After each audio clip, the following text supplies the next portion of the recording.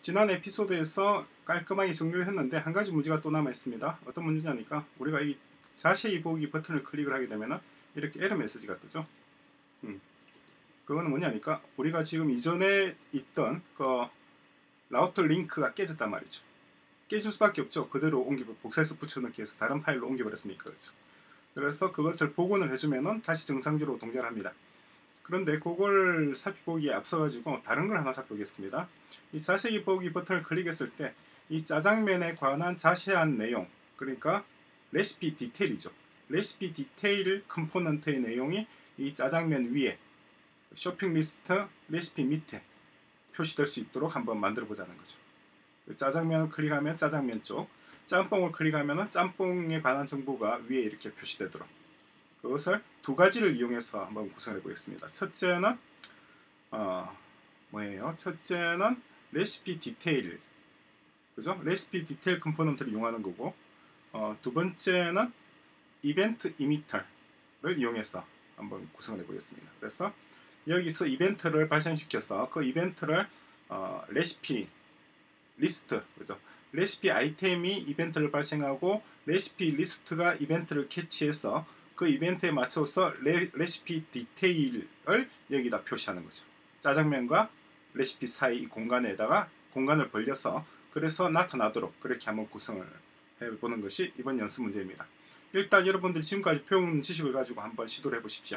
잠시 후에 제가 어, 제 방식을 말씀드리도록 하겠습니다.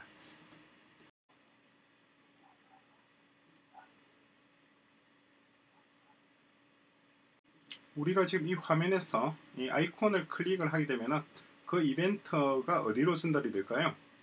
어, 리스트 레시피 리스트로 전달이 될까요? 아니면 레시피 아이템으로 전달될까요?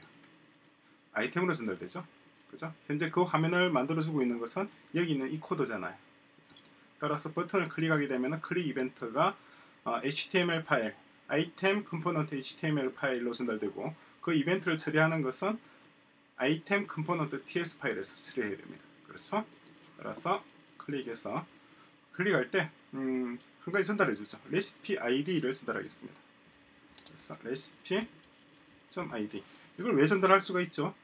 이게 전달 가능한 이유가 어, 우리가 레시피 리스트에서 ngFor 구문으로 돌리죠. ngFor 구문으로 돌릴 때 여기에 레시피 name과 레시피 description과 레시피 아이디가 다 전달되잖아요. 그죠? 그때 전달받은 레시피 아이디를 onClick을 통해서 ts 파일, TypeScript 파일로 전달합니다. 그런 다음에 onClick을 여기서 우리가 처리하면 되겠죠. 받은 것은 아이디입니다. 이 아이디를 우리가 이제 어, 밖으로 내보내는 거예요. 내보내는 방식이 이 에피소드의 제목 그대로 그죠?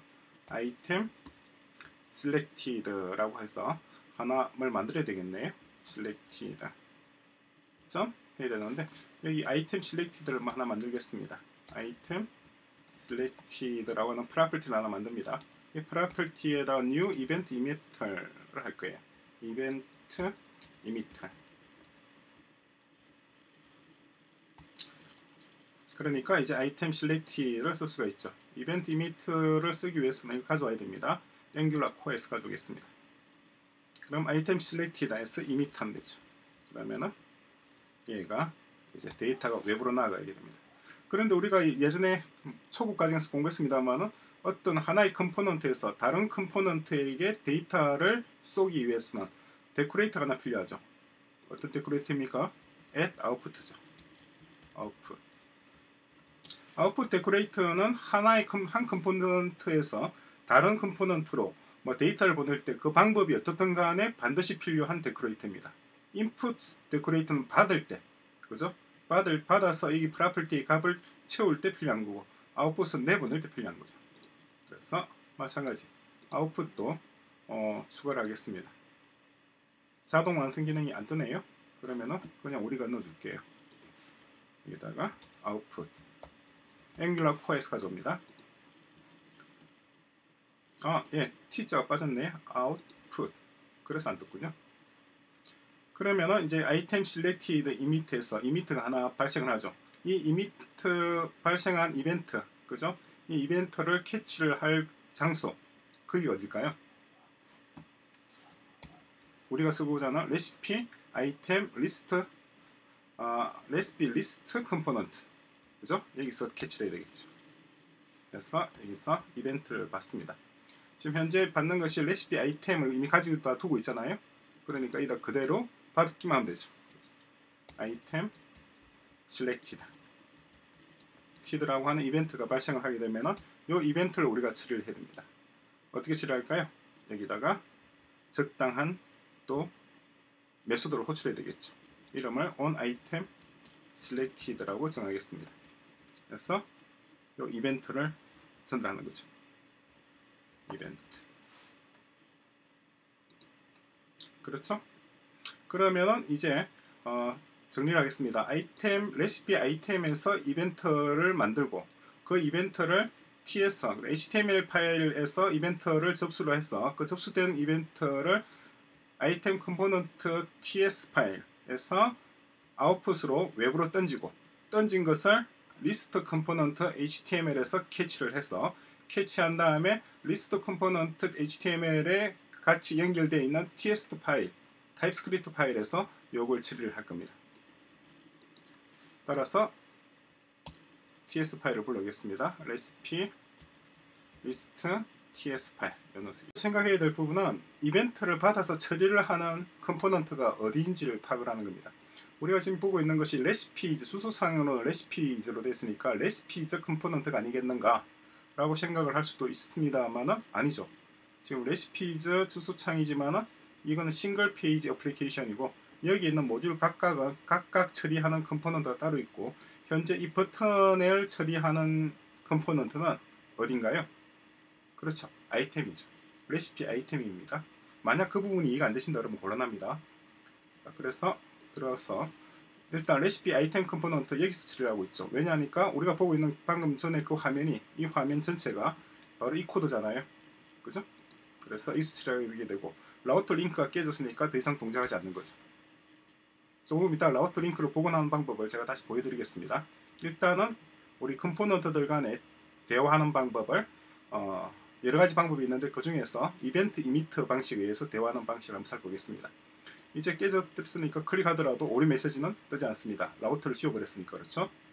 그래서 이제 onClick해서 onClick해서 레시피 아이디를 아이디 요 녀석을 전달하는 거죠. 어디로 전달합니까? 아이템 컴포넌트 HTML 파일을 처리하는 것은 아이템 컴포넌트 TS 파일이죠. 이 레시피 아이디는 우리가 어떻게 할 수가 있죠? ngFor 리스트 컴포넌트에서 여기 ngFor 구문으로 돌리잖아요. 그럴 때 레시피에다가 레시피 이해를 던져주죠. 그죠? 이 레시피 속에 세 가지 정보들이 있, 잖아요 name과 description과 아이디. 그리고 우리가 불러서 쓸 수가 있는 겁니다. 그죠?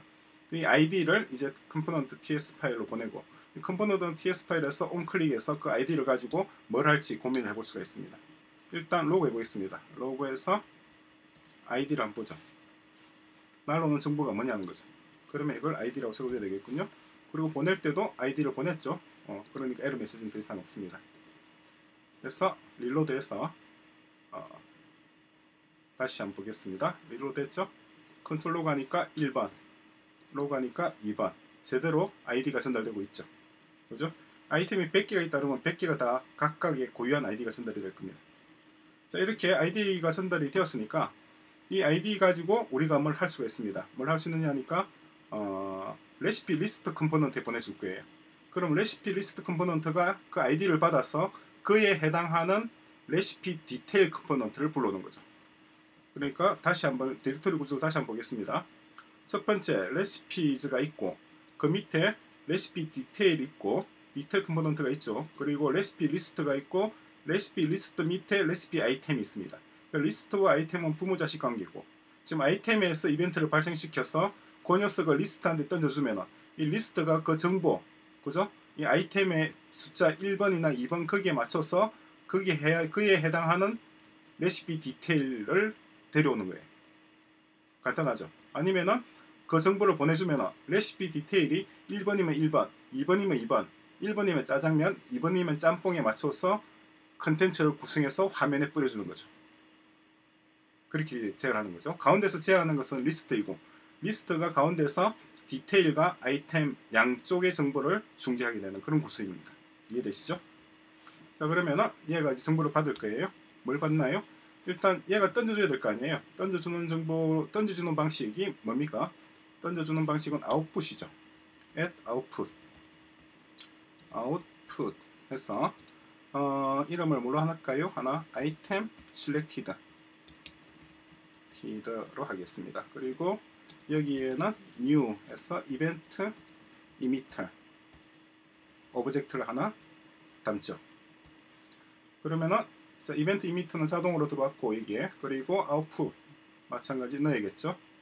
어, import angular core 그래서 아웃풋도 넣었습니다. 그러면 이제 아이템 selected를 우리가 쓸 수가 있죠. 왜 빨간불이 켜져 있나요? 복사해서 붙여보겠습니다. 그래도 있네요. output, output, item selected 왜 그런지 모르겠습니다만 이따가 다시 한번 보겠습니다. 그러면 이제 아이템 selected가 만들어졌으니까 console log는 지워버리고 그래서 this item selected에서 2m면 되죠. 2m 자, 그래서 일단 아무런 argument 없이 한번 이밋해 보겠습니다. 아무것도 없이. 이게 거슬리네요.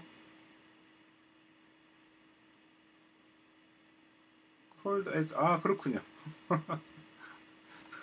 decorator를 호출하면서 decorator는 function입니다. 전부 다 function을 호출하면서 뒤에 가로를 안 붙였습니다. 자 이렇게 됐습니다. 그러면은 일단 클릭을 하게 되면은 무조건 하고 item selected가 뭔가를 emit 방출할 겁니다. 이 방출하는 것을 다른 컴포넌트가 들을 수가 있죠. 들을 수 있으라고 아웃풋으로 설치한 거잖아요. 그죠? 보겠습니다. 자, 클릭하면은 다시 reload해서 reload해서 클릭 아무것도 안 뜨죠. 왜 아무것도 안 뜹니까? 이걸 받는 사람이 없잖아 아직까지. 방출은 했는데 받은 사람이 없죠. 누군가 받아야 될 거 아니에요. 얘로 하여금 받게 하겠습니다. 그래서 이벤트잖아요.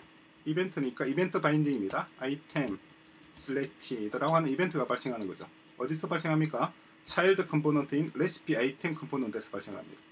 그렇죠? 이것을 받아가지고 어떻게 우리가 처리를 해야 되겠죠. 그래서 on 뭐 item selected 그래서 이벤트를 처리하는 method를 하나 우리가 또 새로 어, 정의를 하겠습니다. 그래서 이벤트 를 전달하는 거죠. item selected가 이제 이, 이벤트가 발생하면은 여기서 레시피 아이템으로부터 발생하게 되면은 그걸 리스트 컴포넌트가 캐치해서 그것을 리스트 컴포넌트의 TS 파일로 던져주는 거죠. 그러면은 이 녀석이 뭔가를 처리를 할 겁니다. 그래서 음, on item selected 이벤트에서 console log 이벤트 되게끔 구성이 되어 있죠. 이제 보겠습니다. 다시 릴로드 하나 안 하나 그대로 상관이 없죠. undefined가 뜨고 있습니다. 왜 undefined가 뜨죠?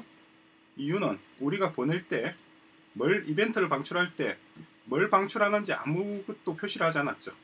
그죠? 우리가 전달받는 게 아이디잖아요. 따라서 방출할 때 아이디를 방출해야 됩니다. 그러면은 그냥 텅 빈 이벤트가 날아가는 것이 아니라 아이디를 담은 이벤트가 날아가죠. 이제 다시 보겠습니다. 그러면 1번, 2번 정확히 날아오고 있죠.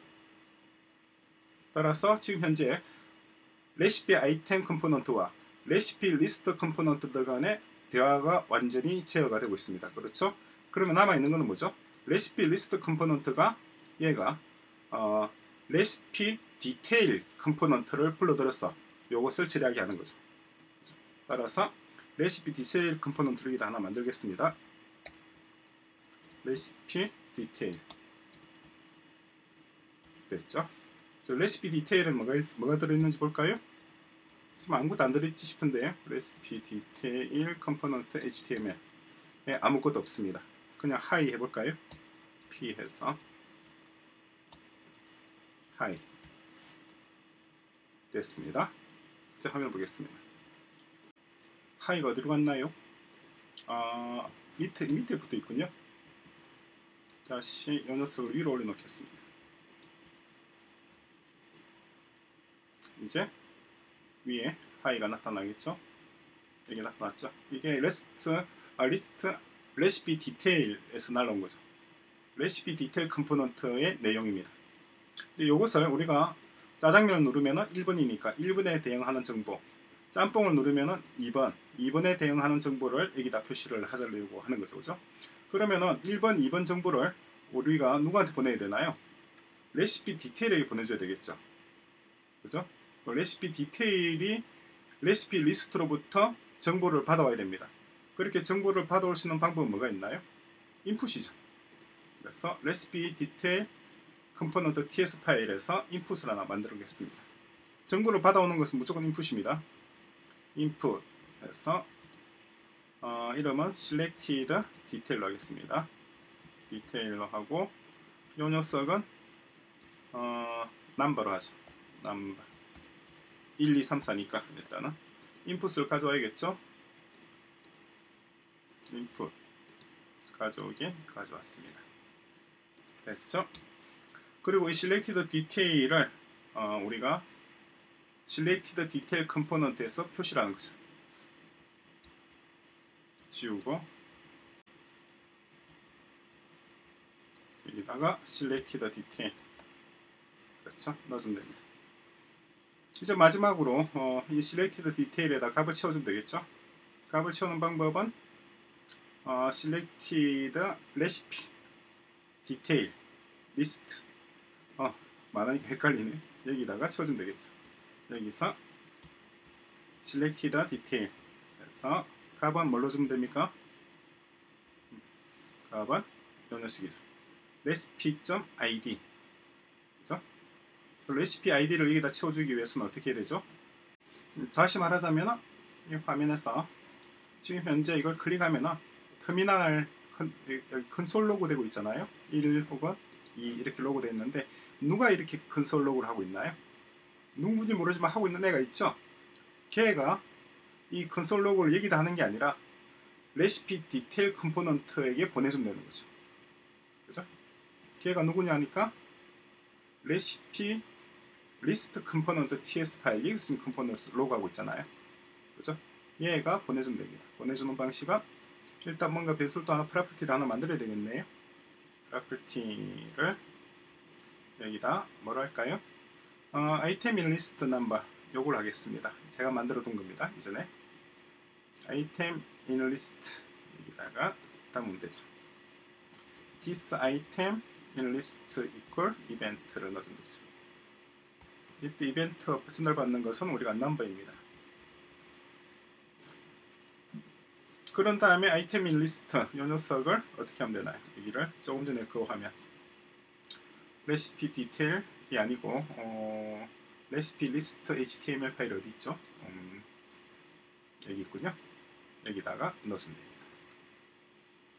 그러면 selected detail 그러니까 레시피 디테일 레시피 디테일이나 레시피 아이템이나 둘 다 지금 레시피 리스트의 자식 component들이잖아요. 자식 component에게 데이터를 전달하는 방식 제일 좋은 것이 property binding이죠. 그러면은 전달될 겁니다. 전달되고 전달된 것이 어떻게 되나요? 레시피 디테일의 레시피 디테일의 HTML 이거 여기 있네요. 여기에 이런 형식으로 해서 표시가 되는 거죠. 그럼 1, 2, 3, 4 이렇게 표시되겠죠? 볼까요? 나타났죠? 1 다시 밑에 이제 짬뽕 2 바뀌고 있죠. 즉 데이터를 전달하는 데까지 성공했으니까 이제 남아있는 건 뭐죠? 남아있는 것은 레시피 디테일의 TS 파일 여기죠. 여기서 전달받은 값 그죠? 어, selected detail 이 값이잖아요. 이 값을 가지고 거기에 맞춰서 component의 디자인을 구성을 하면 되는 거죠. 물론 로직은 여기서 구성을 하고 실제 눈에 보이는 것은 여기서 이제 표현하게 됩니다. 이해되시죠? 자, 그럼 과제입니다. 어, 마찬가지 이전과 마찬가지로 지금까지 제가 했던 것을 그대로 한번 따라 해 보시고 어, 안 보고 하시는 게 낫겠죠? 안 보고도 따라 할 수 있는 상황이 되었으면 그때 레시피 디테일 component HTML 파일과 TS 파일을 조작해서 멋진 디테일 화면 한번 구성해 보십시오.